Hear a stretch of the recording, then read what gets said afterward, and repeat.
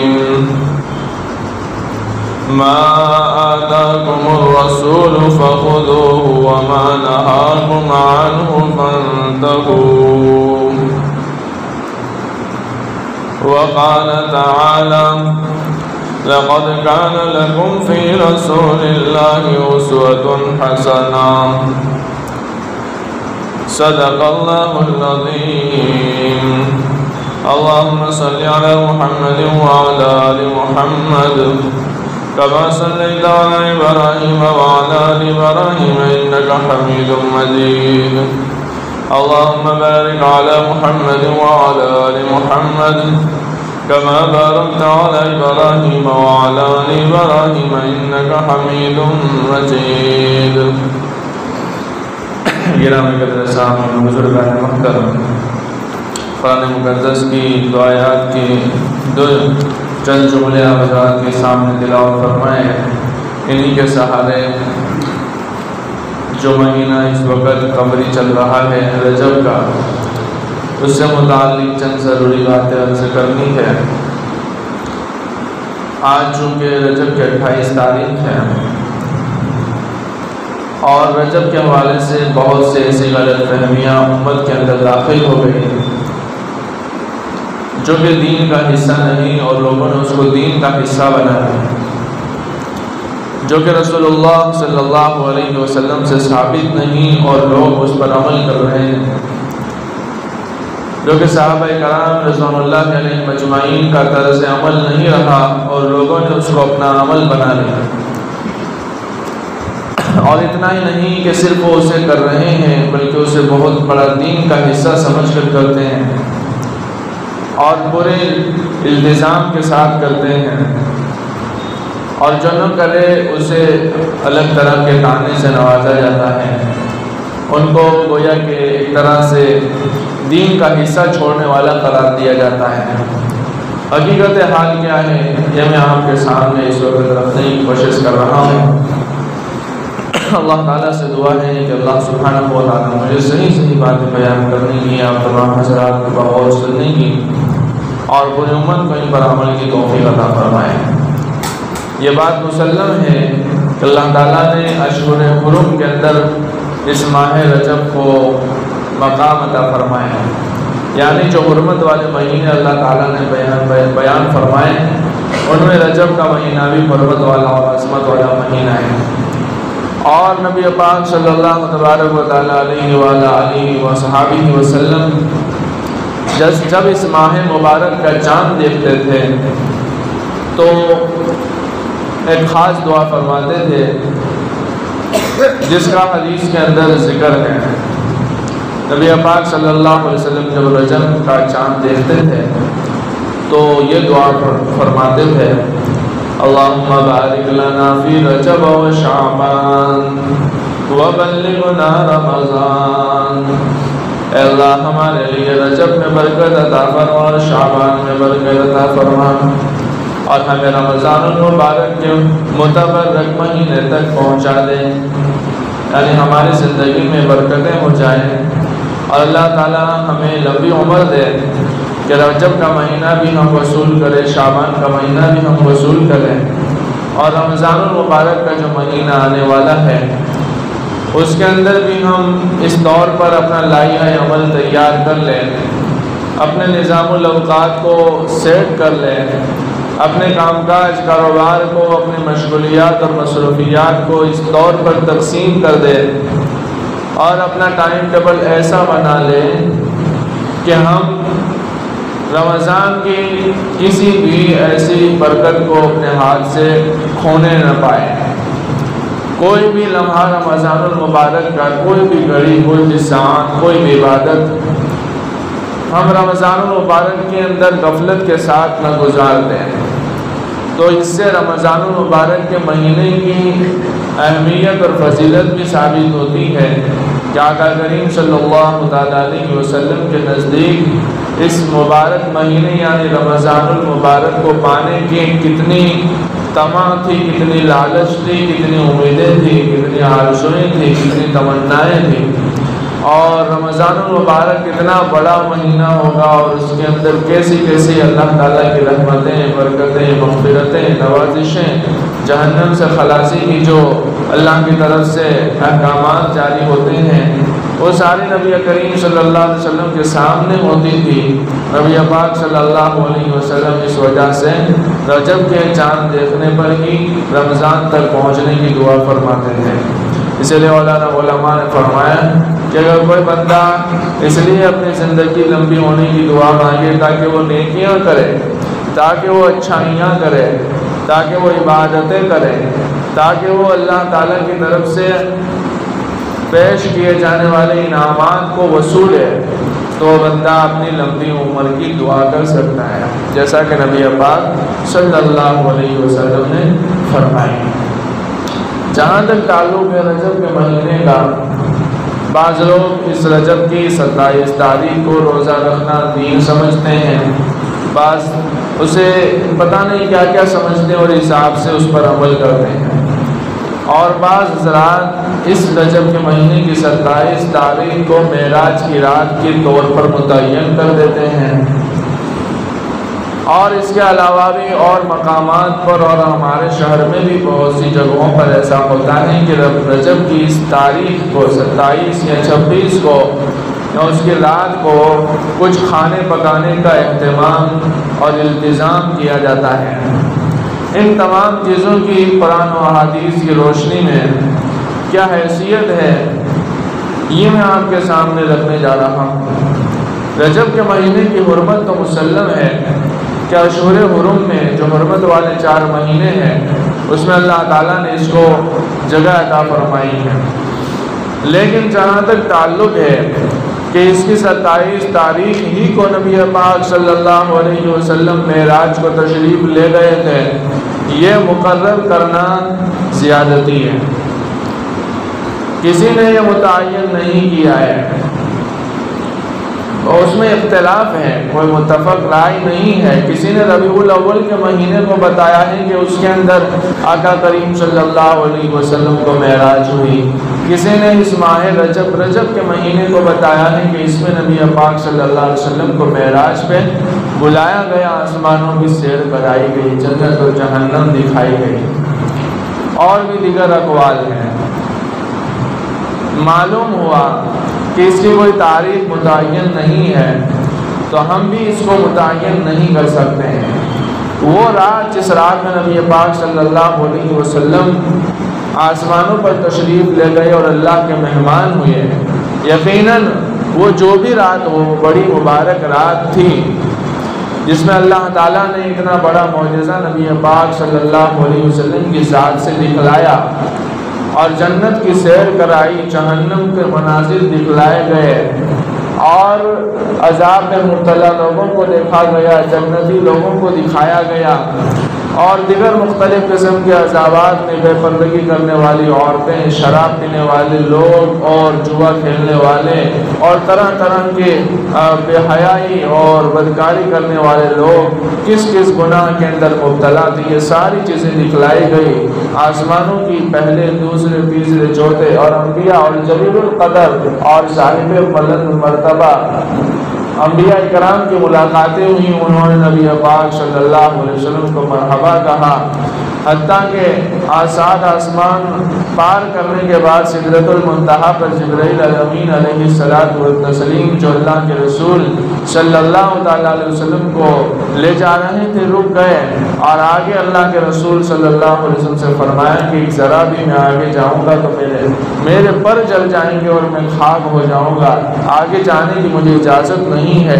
वो मकाम और मरतबा अल्लाह के नबी को अता हुआ कि वहाँ से आप आगे गए और यहीं के अर्श पर आपका नजूल हुआ और अर्श पर और अल्लाह के दरमियान के सारे पर्दे हटा लिए गए और सीधे अल्लाह और रसूल अलैहि वसल्लम, आमने और सामने, कोई बीच में कोई पर्दा नहीं है, कोई ऐसी रुकावट नहीं है, जहाँ अल्लाह के रसूल सल्लल्लाहु अलैहि वसल्लम को सीधे अल्लाह ताला ने सलामती की दुआ और दुआ दी और सलामती नाजिर फरमाई अय्युहन नबी व रहमतुल्लाहि व बरकातुहू। जहाँ नबी ने पूरी नेक उम्मत को याद किया सालिहीन सालिहीन लोगों को अल्लाह की तरफ़ से मिलने वाली सलामती के अंदर शामिल किया बहरहाल ये इतना बड़ा मकाम वाला नबी हमें अदा हुआ इसका एक ही पैगाम हम यहाँ ले लें और इससे हम एक ही सबक ले लें कि जिस नबी को अल्लाह ने बग़ैर पर्दे के खुद बातचीत की। तुम मदना फ़तल्ला फ़कान कौसैन या अदना, जिसकी मंजिल कशी करता है, अजीब व गरीब कैफियत पैदा हो जाती है। इतना बदन मकाम वाला और मरतब वाला नबी हमें मिला, लेकिन हमने उस नबी की कितनी कदर की? और हम उस नबी के नक्श कदम पर कितना चल रहे हैं? उस नबी की सीरत और सूरत को हमने अपनी ज़िंदगी में कितना उतारा है? और नबी को वहाँ जो तोहफ़ा नमाज़ की शक्ल में अदा हुआ, सारे अहकाम अल्लाह ने ज़मीन पर उतारे, लेकिन नमाज़ के लिए अल्लाह ने अर्श पर बुलाया और अर्श पर पचास नमाजें अदा की। जहाँ से जब वापसी हो रही थी मूसा सलाम की, पूछने और उसकी बरकत से पाँच पाँच नमाजें कम होते होते पाँच रह गई। फिर भी अल्लाह ने हुक्म फरमाया कि मेरे यहाँ कि मेरे यहाँ बात पर भी नहीं जाती है। मैंने पचास नमाजों का जो वादा किया था, पाँच भी अगर पाबंदी से पड़ेगा तो पचास का सवाब दे दूँगा। ये इतने बड़े तोहफे महराज के अंदर मिले, लेकिन हम यहाँ हैं कि देगे पकाने में मसरूफ़ हैं। यहाँ उम्मती का हाल ये है कि वो सिर्फ़ जो रोज़ा, न सुन्नत है, न मुस्तहब है, न फ़र्ज़ है, न दीन का हिस्सा है और न ज़रूरी है। उसको रखने का इंतज़ाम तो कर लेता है। लेकिन वो नमाज़ जो इस महराज के सफ़र में अदा हुई थी, वो उसको अपनाने को तैयार नहीं है। नमाज़ छूट रही है और वहाँ इंसान खानों में मशहूर है। मेवाजात पक रहे हैं सवैयाँ पक रही हैं, हलवे पक रहे हैं, इधर से उधर। जिसका शरीयत और दीन में कोई सबूत नहीं है। नबी पाक सल्लल्लाहु तबारक व वसल्लम की ज़िंदगी मुबारक में 18 मरतबा, आप 18 साल तक मेराज के बाद दुनिया में रहे। 18 साल तक मेराज की रात आई, लेकिन नबी करीम सल्लल्लाहु अलैहि वसल्लम ने कोई इल्तिज़ाम, कोई अहतमाम खाने पकाने का नहीं किया। अरे खाने पकाने की तो बात छोड़िए। मैंने अभी ज़िक्र किया कि लोगों को तारीख ही याद न रही कि कौन सी तारीख को नबी पाक सल्लल्लाहु अलैहि वसल्लम मेराज में तशरीफ़ ले गए अगर ये दीन का कोई ख़ास हिस्सा होता है जिसमें इबादत करनी ज़रूरी होती, जिसमें रातों को जागना ज़रूरी होता, फ़र्ज़ होता, या सुन्नत होता, या वाजिब होता, या मुस्तहब होता, कुछ भी होता तो साहबा कराम को ज़रूर याद होता वो तारीख ज़रूर महफूज कर दे और उस तारीख को ज़रूर अपने घर वालों को जगा दे। खुद जाग दे, खुद तरह तरह की इबादतें कर दे, खुद तरह तरह के पकवान पकवा दे और एक दूसरे को खिला दे। लेकिन साहब कराम ने भी नहीं किया, नबी ने भी नहीं किया। नबी ने 18 साल तक दुनिया में रहे, कोई शब महराज नहीं मनाया। महराज के रात नहीं मनाया उसके बाद साहब कराम का तकरीबन सौ साल का दौर है, सौ साल का। नबी की वफ़ात के बाद दुनिया से रुखसत होने के बाद एक एक सदी पूरी, एक सौ साल तक तकरीबन साहब कराम की जमात दुनिया के अंदर मौजूद रही। लेकिन किसी ने इस रात के मनाने का अहतमाम नहीं किसी ने नहीं। हाँ हज़रत उमर फारूक रज़ी अल्लाह तु के ज़माने में किसी ने इस दिन के रोज़े को ज़रूरी समझ के रखना शुरू कर दिया। सत्ताईस तारीख का रोज़ा कुछ लोग ज़रूरी समझ के रखने लगे। तो हज़रत उमर रज़ी अल्लाह तु उनके पास गए और उनको ज़बरदस्ती खाना खिलाया। रोज़ा तोड़वाया उनका कि भाई, ये दीन का हिस्सा नहीं है, तुम क्यों करके इसको दीन का हिस्सा समझ लेते हो? ये तो दीन के अंदर ज़्यादती है, बिदात है, गुनाह है, जलालत है, गुमराही है। जो नबी ने नहीं किया, जो नबी के असहाब ने नहीं किया हती कि इसकी तारीख के अंदर इख्तलाफ है, तारीख महफूज न रह सके।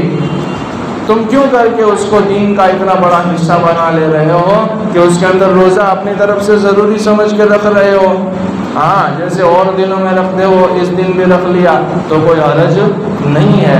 लेकिन इसलिए कि ये दिन का हिस्सा है, इस दिन रोज़ा रखना चाहिए, इसलिए रखता है तो फिर ये ज़्यादती है। ये अपनी तरफ़ से बनाया हुआ और गढ़ा हुआ दीन है, नबी पाक का बताया हुआ दीन नहीं है। साहब कराम का बताया हुआ दीन नहीं है। हज़रत हसनैन करीमैन का बताया हुआ दीन नहीं है। हज़रत फ़ातिमतुज़ारा का बताया हुआ दीन नहीं है। हज़रत अली करम वजहू का बताया हुआ दीन नहीं है। दीन किस किस चीज़ का नाम है? दीन इत्तबा का नाम है। पाँच लोग कहते हैं कि अगर हमने इसमें रोज़ा रख लिया तो क्या गुनाह कर दिया?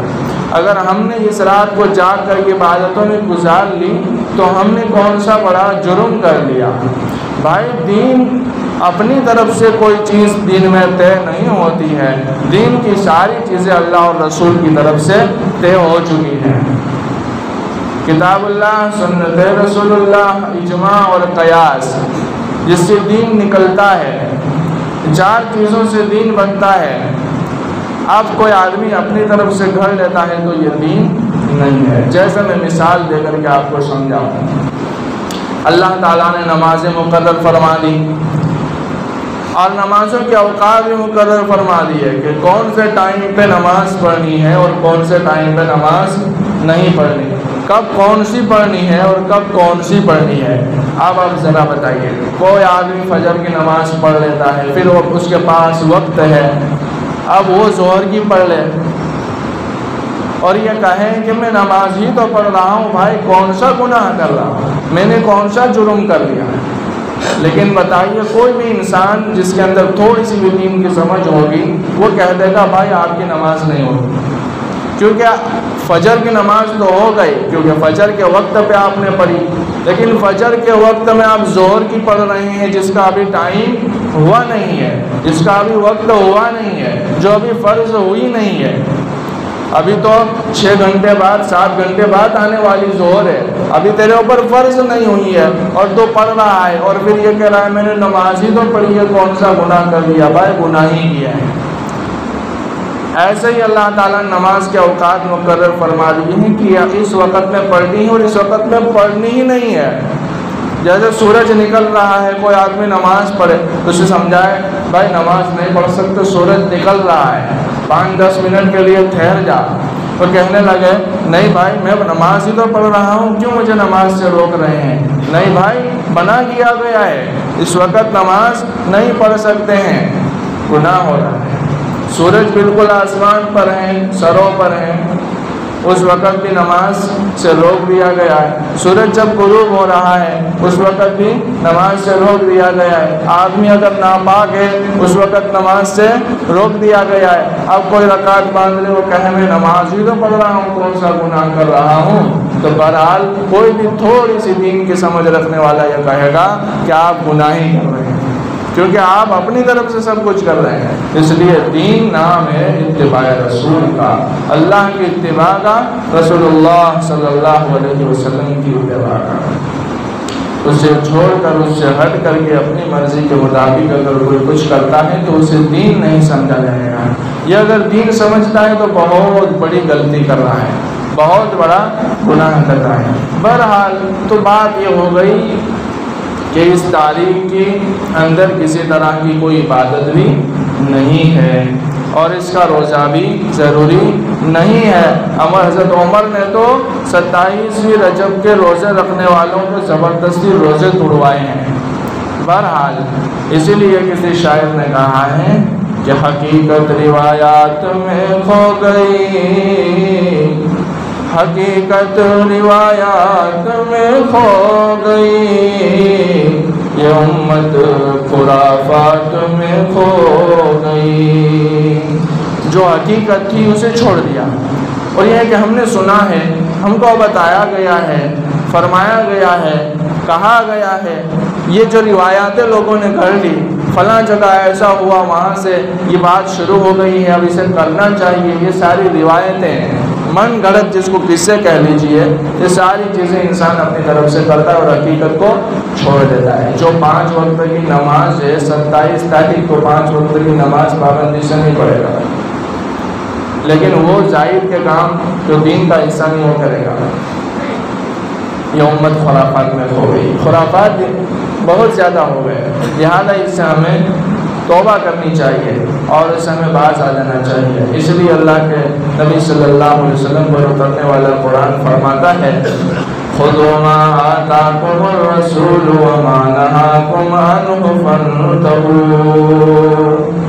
जो रसूल तुम्हें दे रहे हैं उसे पकड़ लो और जिससे रोक रहे हैं उसे रोक जाओ।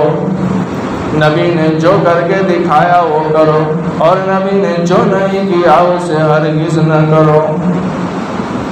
न करेंगे न करेंगे हर हरगिज न करेंगे। जिसे तूने मना किया, जिसे तूने रोक दिया है, उसे हर हरगिज न करेंगे। इंसान के दिल में बहुत सी चीज़ें ऐसा पैदा हो जाती है, मोहब्बत का तकाजा अंदर से जोश मारता है। ऐसे वो मोहब्बत का नाम लेते हैं। और मोहब्बत क्या नाम के पीछे ज़रूरी नहीं है कि इंसान के दिल में जो चीज़ आए वो कर ले।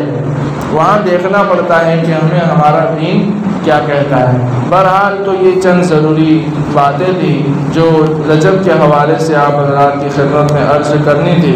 अल्लाह ताला से दुआ है कि अल्लाह सुबहान व हम तमाम को सही, सच्चा दीन पूरे तौर पर पढ़ने की, सुनने की, समझने की, समझाने की और उस पर पूरे तौर पर अमल करने की तोहफी अल्लाह ताला फरमाए। किसी चीज़ को अपने अपने अकल के बल बलबोते पर अपने जज्बात के बल बलबोते पर दीन का हिस्सा बनाने की और उसके मुताबिक खुराफात में खो जाने की अल्लाह ताला हम सब की और पूरी उम्मत की हिफाजत फरमाए। सहाबा कराम मजमैन नबी करीम सल्लल्लाहु अलैहि वसल्लम, हज़रत हसनैन, करीमैन हज़रत फ़ातिमा हज़रत पिरान पीर शेख अब्दुल कादिर जिलानी, हज़रत ख्वाजा मोइनुद्दीन चिश्ती अजमेर रहमतुल्लाह अजमैन वाला दीन हमें अपनी ज़िंदगी के अंदर उतारने की अल्लाह ताला तौफीक अता फरमाए। अल्लाह नेक लोगों वाला दीन हमारी ज़िंदगी में हमें उतारने की तौफीक अता फरमाए। और हर तरह की कजी से, कमी से कोताही से लगदिश से, गुनाह से मासीत से सजाए कबाइल से हम सब की और पूरी उम्मत की पूरी पूरी हिफाजत फरमाए। अल्लाह हाजतमंदों की हाजत पूरी फरमाए। मुश्किल लोगों की मुश्किल कुशाई फरमाए। परेशान हाल की परेशानियाँ दूर फरमाए अल्लाह ताला बीमारों को शिफाए कामिला दायमा आजिला मुस्तबिला नसीब फरमाए बेगुनाह जेलों में बंद हो को अल्लाह तबारक व तआला जल्द से जल्द रिहाई अता फरमाए कर्जों में झगड़े हुए लोगों को अल्लाह ताला कर्जों से छुटकारा नसीब फरमाए और हर उम्मत मुस्लिमान के लिए फतह की तमाम जायज़ मुरादें फरमाए आमीन वाखिर अल्हम्दुलिल्लाह रब्बिल आलमीन व सल्लल्लाहु तआला अला खैर खल्किही मुहम्मद व सहाबिही अजमाइन